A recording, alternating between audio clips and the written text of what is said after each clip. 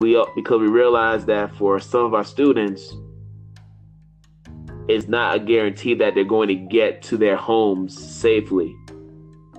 It's you know every day mm-hmm. is a risk of their life. So we think about those um, situations and everything else. Um, mm-hmm. You can't help but feel a little bit anxious about what could potentially happen. And I think that's what causes us to to feel to feel anxiety and to feel trauma because we not that we live the lives of the students, but we're so immersed in their lives and we spend so much time with students that we can't help but care about them and wonder, you know, what's going on with them outside of school. Mm-hmm. I mean, even now, even though I'm not in the classroom, I have